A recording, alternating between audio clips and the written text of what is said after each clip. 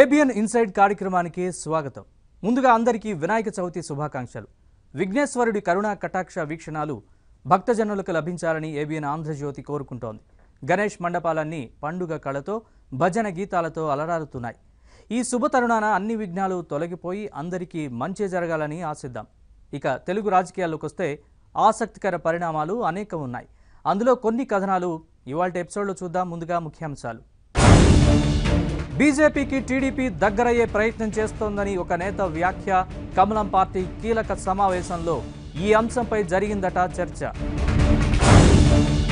సింగరేణి నేతలకు దొరకడం లేదట కేసీఆర్ అపాయింట్మెంట్. సంస్థ లాభాల్లో కార్మికులకు ఎంత వాటా ఇస్తారన్నదే హాట్ టాపిక్. అవినీతి జరిగినందునే రివర్స్ టెండరింగ్పై ముందుకు వెళ్ళారట. ఢిల్లీలో కేంద్ర మంత్రులతో పోలవరంపైనే జగన్ చర్చించారట. సిక్కోలు జిల్లా రాజాం పాలకొండ నియోజకవర్గాల్లో విచిత్రం. ఆ రెండు స్థానాల్లో వైసీపీ ఎమ్మెల్యేలకు లేదట నిర్ణయాధికారం. ఏపీలో తెలుగుదేశం పార్టీ బీజేపీకి దగ్గరయ్యేందుకు ప్రయత్నిస్తోందా? అటువంటి ప్రయత్నాలు జరిగితే ఊరుకోకూడదని బీజేపీ నేతల కీలక సమావేశంలో ఎవరు వ్యాఖ్యానించారు? వైసీపీపై కూడా కొంతమంది బీజేపీ నేతలు సానుకూల వైఖరిని ప్రదర్శించడంపై ఎలాంటి చర్చ జరిగింది? బీజేపీ సమావేశంలో ఈ రెండు కీలక అంశాలపై చర్చను లేవనెత్తింది ఎవరు? ఈ ప్రశ్నలకు సమాధానాలేంటో ఈ కథనంలో చూద్దాం.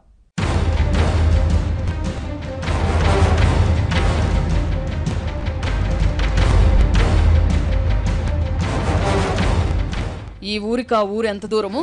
ఆ ఊరికి ఈ ఊరు అంతే దూరం అన్న సామెతకు అర్థం పడుతున్నాయి ఆంధ్రప్రదేశ్ రాజకీయాలు. సార్వత్రిక ఎన్నికలు పూర్తయి మూడు నెలలు గడిచిన తర్వాత కూడా. ఏపీలో రాజకీయం వేడెక్కుతూనే ఉంది. అధికారంలోకి వచ్చిన వైఎస్ఆర్ కాంగ్రెస్ పార్టీ ప్రభుత్వం తీసుకుంటున్న విధాన నిర్ణయాలపై ప్రజల్లో విస్తృత చర్చ జరుగుతోంది. ఈ తరుణంలో రాజకీయ పక్షాలు కూడా క్రియాశీలమవుతున్నాయి. రాజధాని అమరావతి ఆంధ్రప్రదేశ్ ప్రజల జీవనాడైన పోలవరం అనేవి భావోద్వేగాలతో కూడిన అంశాలు కావడంతో రాజకీయ నేతల విశ్లేషణలు పెరిగాయి. ఈ నేపథ్యంలో ఇటీవల జరిగిన బీజేపీ కీలక నేతల సమావేశంలో ఆసక్తికరమైన చర్చ జరిగింది. ఎన్నికల ముందు వరకు పోలింగ్ ఫలితాల మధ్య కూడా బీజేపీ నేతలను వ్యక్తిగతంగా దూషించిన చంద్రబాబు ఆయన పార్టీ మళ్ళీ బీజేపీకి దగ్గరయ్యేందుకు ప్రయత్నాలు సాగుతున్నాయంటూ బీజేపీ కీలక నేత ఒకరు ఈ సమావేశంలో వ్యాఖ్యానించారు. ఇటువంటి ప్రయత్నాలు జరుగుతున్నాయనే ప్రచారం ప్రజల్లోనూ కొనసాగుతోందని సదరు నేత చెప్పుకొచ్చారు. కొందరు పార్టీ నేతల కథనం ప్రకారం ఈ సమావేశంలో మరిన్ని విషయాలు ప్రస్తావనకు వచ్చాయి. చంద్రబాబు అధికారంలో ఉన్న సమయంలో బీజేపీని ఇబ్బంది పెట్టారని ఏపీలో ఇప్పుడు అధికారంలోకి వచ్చిన వైఎస్ఆర్ కాంగ్రెస్ పార్టీ కూడా బీజేపీని ఇబ్బంది పెట్టడంతో పాటు అణగదొక్కాలని చూస్తోందని ఒక నేత ఆరోపించారు. ఢిల్లీలో మాత్రం తమ అవసరాల కోసం వైఎస్ఆర్ కాంగ్రెస్ పార్టీ పెద్దలు ప్రయత్నాలు చేస్తున్నారని ఈ సందర్భంగా మరికొందరు చెప్పారట. ఈ విషయంపై స్పందించిన బీజేపీ అగ్రనేతలు ఏపీలో అధికార ప్రతిపక్షాలకి సమదూరం పాటించాలి అని పార్టీ నేతలకు సూచించారు.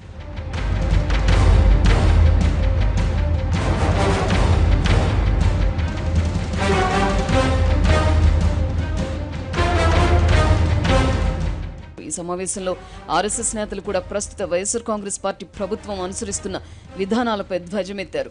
తిరుమల బస్ టికెట్లపై అన్యమత ప్రచారం దేవాదాయ భూములను ఇళ్ళ స్థలాల కోసం కేటాయించడం కీలక పదవుల్లో తమకు అనుకూలమైన అధికారులను నియమించుకోవడం విశాఖపట్నంలోని చర్చిలకు పోలీస్ బందోబస్తు విజయవాడ గోశాలలో వంద గోవులు మరణిస్తే ప్రభుత్వం తూతు మంత్రంగా విచారణ చేసి చేతులు దులిపేసుకోవడం వంటి అంశాలపై ఆర్ఎస్ఎస్ నేతలు ఆగ్రహం వ్యక్తం చేశారు. ఈ అంశాలపై ఇప్పటికే సంఘ్ అనుబంధ సంస్థలు ప్రజల్లో ప్రచారం చేస్తున్నాయని కేంద్ర ప్రభుత్వం దృష్టికి అంశాలన్నీ వెళ్ళాల్సిందేనని వారు గట్టిగా అభిప్రాయపడ్డారు. గత తెలుగుదేశం ప్రభుత్వ హయాంలో విజయవాడలో పలు దేవాలయాలను కూల్చేయడంతో అవి నామరూపాలు లేకుండా పోయాయని సంఘ్ నేతలు గుర్తు చేశారు. ఈ నేపథ్యంలో రాష్ట్రంలో టీడీపీ వైఎస్ఆర్ కాంగ్రెస్ పార్టీలకు సమదూరం పాటిస్తూ ముందుకెళ్ళాలని స్వతంత్రంగా ఎదిగే ఆలోచన చేయాలని తెలంగాణ తరహా ఏపీలోనూ యాక్టివిటీస్లో వేగం పెంచాలని మరికొందరు నేతలు సూచించారట. ఈ మొత్తం చర్చోప చర్చలతో టీడీపీ మళ్ళీ బీజేపీకి దగ్గరయ్యే ప్రయత్నాలు చేస్తోందన్న వాదన పూర్వపక్షమైందట. ఇదండి ఇటీవల జరిగిన బీజేపీ సమావేశంలో ఆసక్తికరమైన మలుపు.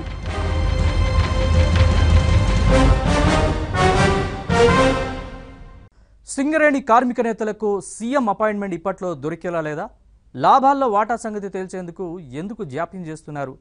ఈ అంశంపై ఎప్పుడు ప్రశ్నించినా త్వరలో సీఎంని కలిసి డిసైడ్ చేస్తామంటున్న నేతలు అసలు కేసీఆర్ను ఎప్పుడు కలుస్తారు? వాటా డిమాండ్పై కార్మిక సంఘాల్లో ఎలాంటి చర్చ జరుగుతోంది? కోల్ మైన్స్లో తాజా పరిణామాలపై ఆసక్తికర కథనం మీకోసం.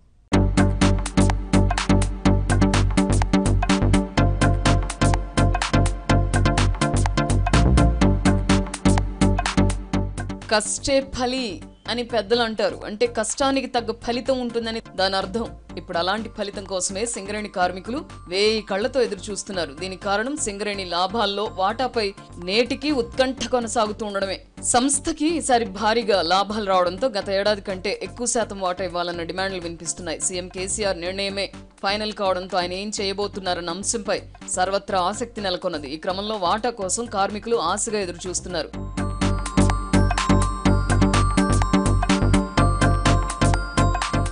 సింగరేణి సంస్థ ఆర్జించిన లాభాల్లో వాటా ఇవ్వడం గత పంతొమ్మిదేళ్ళుగా ఆనవాయితీగా వస్తోంది.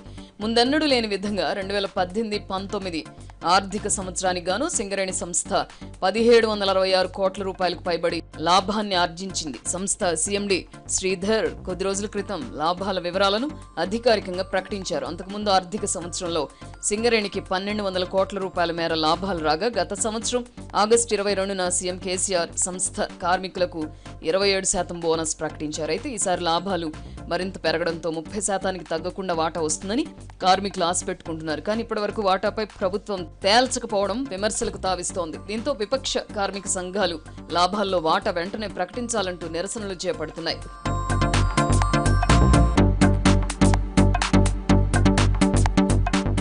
వాస్తవానికి ఇతర సంస్థల్లో కార్మిక సంక్షేమానికి సంబంధించిన నిర్ణయాలన్నీ వాటి యాజమాన్యాలే తీసుకుంటాయి. కానీ ఇక్కడ లాభాలు సింగరేణి సంస్థవే అయినా ఆ లాభాల్లో వాటాను మాత్రం రాష్ట్ర ప్రభుత్వం ప్రకటించడం మొదటి నుంచి రివాజ్గా వస్తోంది. దీని వెనక పెద్ద కథ ఉంది.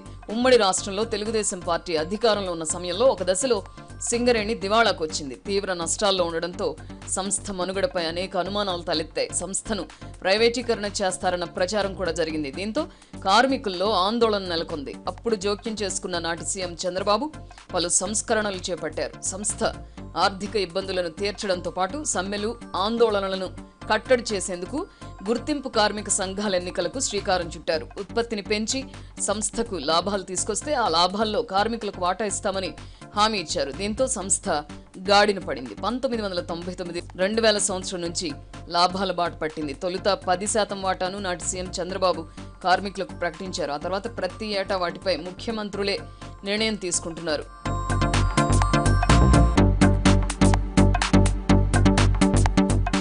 లాభాల్లో వాటా పెంపు అంశం రాష్ట్ర ప్రభుత్వం చేతిలో ఉండడంతో పాలక పార్టీలు రాజకీయ ప్రయోజనాల కోణంలో దీన్ని చూస్తున్నాయి. ప్రతి ఏటా ఎంతో కొంత వాటా శాతం పెంచడం ఆనవాయితీగా వస్తోంది. ఉమ్మడి రాష్ట్రంలో ఉన్నప్పుడు సింగరేణి లాభాల్లో పద్దెనిమిది శాతం వరకు వాటా ఇచ్చారు. తెలంగాణ ఏర్పడి టీఆర్ఎస్ అధికారంలోకి వచ్చిన తర్వాత కూడా సీఎం కేసీఆర్ వరుసగా వాటా శాతాన్ని పెంచుతూ వస్తున్నారు. రెండు వేల పద్నాలుగు పదిహేను ఆర్థిక సంవత్సరానికి ఇరవై ఒక్క శాతాన్ని ఉద్యోగులకు ప్రకటించారు. రెండు వేల పదిహేను పదహారులో ఇరవై మూడు శాతం వాటా ఇచ్చారు. రెండు వేల పదహారు పదిహేడు సంవత్సరానికి ఇరవై ఐదు శాతం రెండు వేల పదిహేడు పద్దెనిమిది సంవత్సరానికి ఇరవై ఏడు శాతం లాభాల వాటాను ప్రకటించారు. ఈ తరుణంలో గత ఆర్థిక సంవత్సరం లాభాల్లో వాటాపై సీఎం కేసీఆర్ ఎలాంటి నిర్ణయం తీసుకుంటారన్న విషయమై ఉత్కంఠ నెలకొన్నది. అయితే విపక్ష కార్మిక సంఘాలు మాత్రం ముప్పై ఐదు శాతం వాటా ఇవ్వాలని డిమాండ్ చేస్తున్నాయి. కార్మికులు ప్రాణాలకు తెగించి బొగ్గు ఉత్పత్తి చేయడం వల్లనే గణనీయమైన లాభాలు వచ్చాయని ఆ మేరకు లాభాల్లో వాటా శాతాన్ని పెంచాలని ఆయా సంఘాల నేతలు డిమాండ్ చేస్తున్నారు.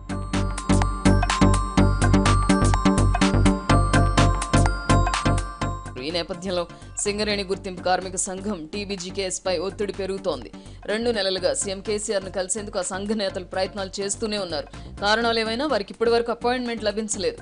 సింగరేణి యాజమాన్యంతో చర్చించిన తర్వాతే సీఎం నిర్ణయం తీసుకునే అవకాశం ఉందంటున్నారు. అప్పటి వరకు టీబీజీకేఎస్ నాయకులకు ముఖ్యమంత్రి దర్శన భాగ్యం దక్కేలా లేదు. పైగా యూనియన్ నేతల తీరుపై సీఎం కేసీఆర్ తీవ్ర అసంతృప్తితో ఉన్నట్టు ప్రచారం సాగుతోంది. అయితే సీఎం అపాయింట్మెంట్ దొరకగానే గత ఏడాది కంటే రెండు శాతానికి పైగా వాటా పెంచేలా ఒప్పిస్తామని కార్మికులకు గుర్తింపు సంఘ నాయకులు హామీ ఇస్తున్నారు.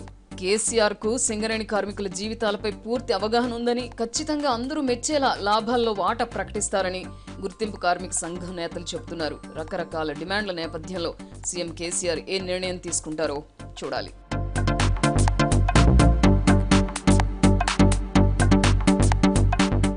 మరోవైపు ఆర్థిక సమస్యల వల్లే వాటా చెల్లింపు విషయంలో జాప్యం జరుగుతున్నట్టు తెలుస్తోంది. సింగరేణి సంస్థ లాభాల్లో ఉన్న ప్రభుత్వ రంగ సంస్థల నుంచి వేల కోట్ల బకాయిలు పేరుకుపోయాయి. నెలల తరబడి కోరుతున్న ఆయా సంస్థలు స్పందించడం లేదట. బకాయిలు చెల్లించకపోవడంతో రోజువారీ నిర్వహణ ఖర్చుల కోసమే సింగరేణి సంస్థ ఇబ్బందులు పడుతోంది. ఈ పరిస్థితుల్లో వాటా ప్రకటిస్తే వెంటనే చెల్లింపులు కూడా చేయాల్సి ఉంటుంది కాబట్టి ఆచితూచి వ్యవహరిస్తున్నట్టు వెనికిడి. డబ్బులు సర్దుబాటు అయ్యాకే సీఎం కేసీఆర్ను కలిసి లాభాల్లో వాటాపై ప్రకటన చేయాలని కోరుతున్నట్లు ప్రచారం జరుగుతోంది. ఈ క్రమంలో విపక్ష కార్మిక సంఘాలు ప్రభుత్వ తీరును తప్పుబడుతున్నాయి. వేల కోట్ల బకాయిలు చెల్లించకుండా సింగరేణిని ఆర్థిక సంక్షోభంలోకి ప్రభుత్వమే నెడుతోందని ఆయా సంఘాల నేతలు ఆరోపిస్తున్నారు. ఏదేమైనా రకరకాల డిమాండ్ల నేపథ్యంలో సీఎం కేసీఆర్ ఏ నిర్ణయం తీసుకుంటారో చూడాలి.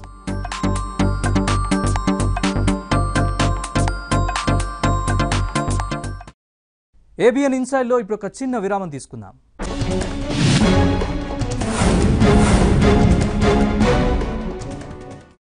హస్తినలో ఏదో జరిగింది. అదేంటో ఎవరికీ అంతు చిక్కడం లేదు. రాజధాని రచ్చ నేపథ్యంలో ఈ రాజకీయం మరుగున పడింది. హస్తిన మంత్రాంగంలో లోగుట్టు ఏంటని ఇప్పుడు పార్టీల అగ్రనేతలు కూపిలాగుతున్నారు. బీజేపీ అగ్రనేతలకు ఆంధ్రప్రదేశ్ సీఎం వైఎస్ జగన్మోహన్ రెడ్డికి మధ్య జరిగిన చర్చల సారాంశమే ఇప్పుడు రాష్ట్ర రాజకీయాల్లో హాట్ టాపిక్గా మారింది. ఈ చర్చలో హైలైట్ ఏంటో తెలుసుకోవాలంటే ఈ కథనంలోకి వెళ్ళాల్సిందే.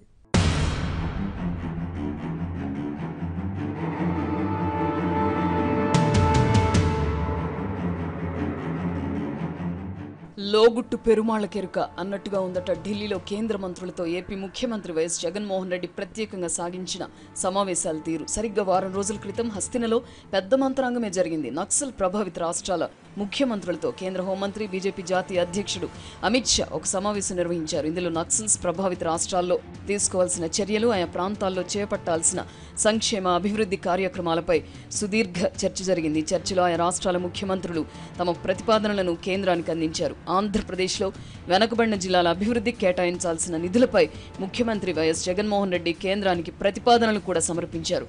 ఇదే సమయంలో సమావేశం ముగిసిన తర్వాత సీఎం జగన్ పలువురు కేంద్ర మంత్రులను కూడా కలిశారు.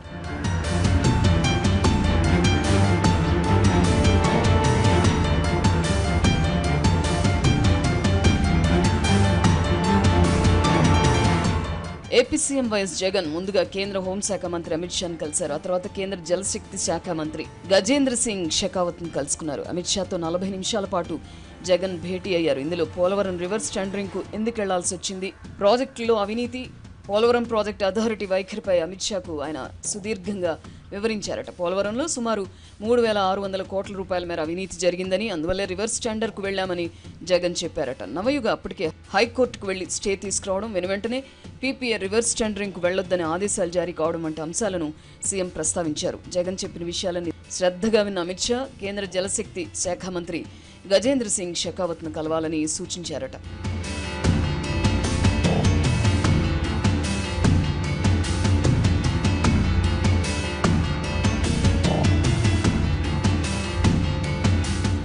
అమిత్ షాతో భేటీ తర్వాత కేంద్ర జలశక్తి శాఖ మంత్రి గజేంద్ర సింగ్ను కూడా సీఎం జగన్ కలిశారు. అరగంట సేపు జరిగిన భేటీలో పోలవరం అంశాలన్నింటినీ షెకావత్ ఆయన వివరించారట. అన్ని అంశాలను విన్న తర్వాత పోలవరం ప్రాజెక్టు అథారిటీ నివేదిక రెండు రోజుల క్రితమే వచ్చిందని ఆ నివేదికను అధ్యయనం చేసిన తర్వాత ఒక నిర్ణయం తీసుకుంటామని షెకావత్ స్పష్టం చేశారట. అంతకుమించి ఆయన ఏ హామీ ఇవ్వలేదని కేంద్ర ప్రభుత్వ వర్గాల ద్వారా తెలుస్తోంది.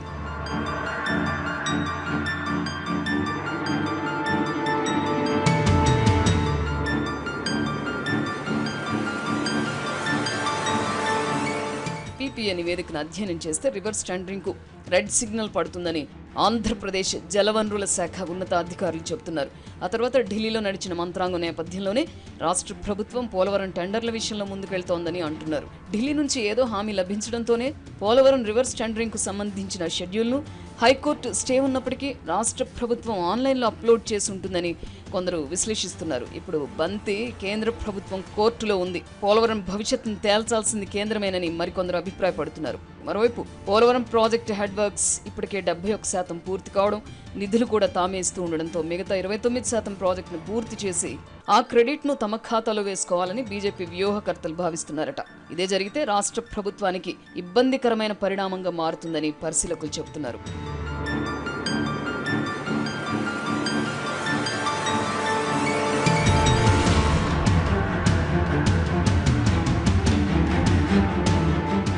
మొత్తం మీద మరో వారం రోజుల్లో పోలవరం భవిష్యత్ తేలనుంది. పోలవరంపై పీపీఐ ఇచ్చిన నివేదికపై మీ వివరణ ఏమిటో తెలియజేయాలని కేంద్రం నుంచి రాష్ట్ర ప్రభుత్వానికి లేఖ రావడం సెప్టెంబర్ నాలుగులోపు ఇందుకు సంబంధించిన వివరణ ఇవ్వాలని ఆదేశించడం కోసమేరు. ఈ పరిణామాలన్నీ చూస్తే కేంద్రం ఎటువంటి వ్యూహంతో ముందుకెళ్తుందో ఎవరికి అంతు చిక్కడం లేదు. ప్రస్తుతం విదేశీ పర్యటనలో ఉన్న కేంద్ర జలశక్తి శాఖ మంత్రి గజేంద్ర సింగ్ షెకావత్ వచ్చే వారం మధ్యలో స్వదేశానికి చేరుకుంటారు. ఆయన ఢిల్లీకి వచ్చిన వెంటనే కేంద్ర హోంమంత్రి అమిత్ షా ప్రధానమంత్రి నరేంద్ర మోదీతో సమావేశమై పోలవరం ప్రాజెక్టుపై ఒక నిర్ణయానికి వస్తారని అధికార వర్గాలు అంటున్నాయి. చూద్దాం ఏం జరుగుతుందో.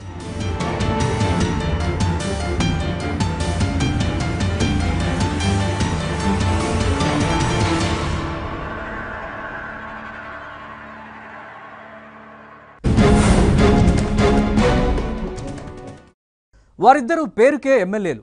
రిజర్వ్ నియోజకవర్గాల్లో గెలిచిన నిర్ణయాధికారం మాత్రం వేరొకరి చేతుల్లో ఉంది. అసలు ఆ ఎమ్మెల్యేలు అనుభవిస్తున్న ఆవేదనకు కారణాలేంటి?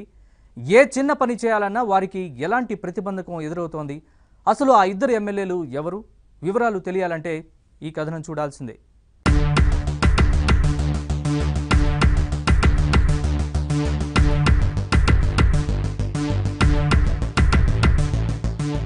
అంగట్లో అన్నీ ఉన్నా అల్లుడి నోట్లో శని అని ఓ సామెత ఉంది. శ్రీకాకుళం జిల్లాకు చెందిన ఇద్దరు వైఎస్ఆర్ కాంగ్రెస్ పార్టీ ఎమ్మెల్యేల పరిస్థితి ఇలాగే ఉందట. వివరాలు తెలియాలంటే నేపథ్యంలోకి వెళ్ళాల్సిందే. అసెంబ్లీ ఎన్నికల్లో శ్రీకాకుళం జిల్లాలో అత్యధిక స్థానాలు కైవసం చేసుకుంది వైఎస్ఆర్ కాంగ్రెస్ పార్టీ. తెలుగుదేశానికి కంచుకోటగా పేరొందిన సిక్కోలులో పదింట ఎనిమిది స్థానాల్లో ఆ పార్టీ పాగా వేసింది. రెండు వేల పద్నాలుగు ఎన్నికల సమయంలో జిల్లా వ్యాప్తంగా టీడీపీ గాలి వీచిన పాలకొండ రాజాం నియోజకవర్గాల్లో మాత్రం వైఎస్ఆర్ కాంగ్రెస్ అభ్యర్థులే విజయం సాధించారు. రిజర్వ్డ్ స్థానాలైన పాలకొండలో విశ్వసరాయ్ కళావతి రాజాంలో కంబాల జోగులు గెలుపొందారు. రెండు వేల పద్నాలుగు ఎన్నికల్లో వారు గెలిచినప్పటికీ ప్రతిపక్ష ఎమ్మెల్యేలుగా ఉండడంతో తమ తమ నియోజకవర్గాల్లో ఎలాంటి అభివృద్ధి పనులు చేపట్టలేకపోయారు. అయినా వ్యక్తిగత ఇమేజ్తో పాటు రాష్ట్ర వ్యాప్తంగా ఫ్యాన్ గాలి వీయడంతో రెండు వేల పంతొమ్మిది ఎన్నికల్లోనూ పాలకొండ రాజాం నియోజకవర్గాలు వైఎస్ఆర్ కాంగ్రెస్ పార్టీ ఖాతాలోనే పడ్డాయి.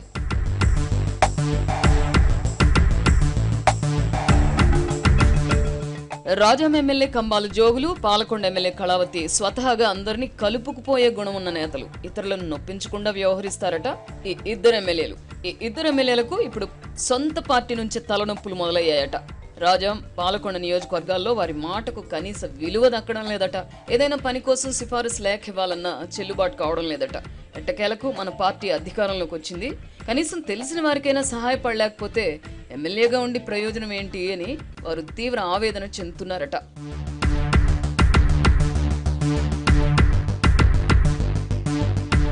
వాస్తవానికి కంబాల జోగులు పాలకొండ నుంచి ఒకసారి రాజాం నుంచి రెండు పర్యాయాలు ఎమ్మెల్యేగా ఎన్నికయ్యారు. పాలకొండ నుంచి కళావతి రెండవసారి ఎమ్మెల్యేగా కొనసాగుతున్నారు. అయితే ఈ రెండు నియోజకవర్గాలపై మాజీ జడ్పీ చైర్మన్ పాలవలస రాజశేఖరం కుటుంబానికి ఎక్కువ పట్టుంది. సామాజిక వర్గంతో పాటు బంధుత్వాలు ఎక్కువగా ఉండడంతో పాలవలస కుటుంబం ఈ రెండు నియోజకవర్గాలపై ఆధిపత్యం కొనసాగిస్తోందట. అయితే రాజశేఖరానికి వయసు మీద పడడంతో ఆయన కుమారుడు పాలవలస విక్రాంత్ బాబు ప్రస్తుతం రెండు నియోజకవర్గాల్లో కీలకంగా వ్యవహరిస్తున్నారట. వైఎస్ఆర్ కాంగ్రెస్ పార్టీ రాష్ట్ర కార్యదర్శి హోదా కూడా విక్రాంత్కి మరో అంశం ఈ నేపథ్యంలో.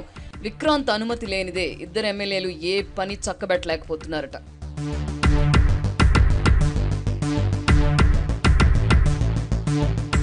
ఇటీవల రాజాం ఎమ్మెల్యే కంబాల జోగులు తనకు మొదటి నుంచి పరిచయం ఉన్న ఓ వ్యవసాయ శాఖ అధికారికి రాజాంలో పోస్టింగ్ ఇప్పించుకున్నారట. మంత్రి బొత్స మేనల్లుడు చినసీను సిఫారసుతో ఈ పని కానిచ్చుకున్నారట. అయితే ఈ విషయం విక్రాంత్ బాబుకు తెలియడంతో ఆగమేఘాల మీద ఆ బదిలీని నిలిపివేయించారట. తన అనుమతి లేనిదే సదరు అధికారికి ఎలా పోస్టింగ్ ఇస్తారంటూ సంబంధిత ఉన్నతాధికారులపై ఒత్తిడి తెచ్చి తన మాట నెగ్గించుకున్నారట. ఈ విషయం తెలుసుకున్న ఎమ్మెల్యే కంబాల జోగులు తీవ్ర ఆవేదనకు గురయ్యారట. సీనియర్ ఎమ్మెల్యేనని కూడా చూడకుండా తాను సిఫారసు చేసిన పోస్టింగ్ను ఎలా నిలుపుదల చేస్తారు అని సన్నిహితుల వద్ద మాపోయారట అధికార పార్టీ ఎమ్మెల్యేని అయ్యుండి కూడా ఆ మాత్రం పనులు చేయించుకోలేకపోతే ఎలా అంటూ తీవ్రంగా కలత చెందారట. గ్రామ వాలంటీర్ల నియామకాల్లోనూ విక్రాంత్ బాబు అనుమతితోనే అన్నీ జరగడంతో జోగుల ఆవేదనకు అంతు లేకుండా పోయిందట.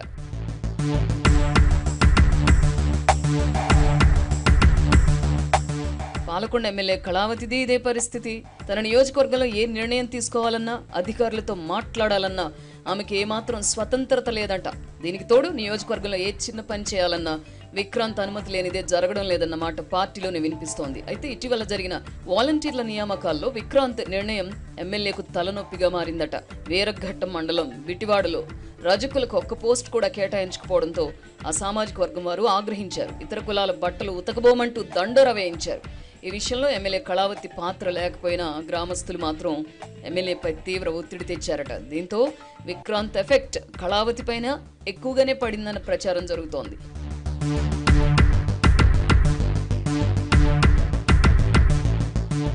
రాజం పాలకొండ నియోజకవర్గాల్లో ఏ ఇద్దరు వైఎస్ఆర్ కాంగ్రెస్ పార్టీ నేతల్ని కదిపినా ఇప్పుడు ఈ షాడో ఎమ్మెల్యే పేరు ఎక్కువగా వినిపిస్తోందట.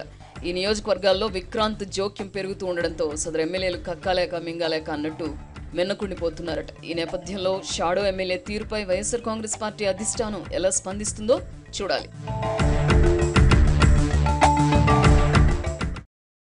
ఇదండి ఇవాళ ఇన్సైడ్. రేపు